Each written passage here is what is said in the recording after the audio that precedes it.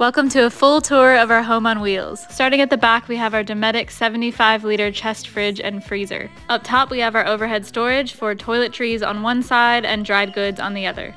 Under the back half of our couch, we have storage for bigger items. And then on the side, we have my closet, and down below is Glenn's. Further along, we have more storage for our everyday items. We sleep upstairs in our Bush Company rooftop tent. Attached to this is a 270 degree awning that wraps around most of the car. For cooking all of our food, we have our pull-out kitchenette that still sits under our awning. On one side is a lift-up countertop that houses our canned goods, other produce, as well as our pots and pans. To access our water, we have a tap that just sits on the back door. Moving on to the front cab, we have door cards on both sides. Behind each of our seats is our Redarc 12-volt electrical system. Up here, we also have our controller that shows us how much power we're getting from our car's battery and our 300-watt solar panel. On the ceiling, we have a hat racks to hold all of our hats. And that's our home. Thanks for watching. We hope we see you you on the road.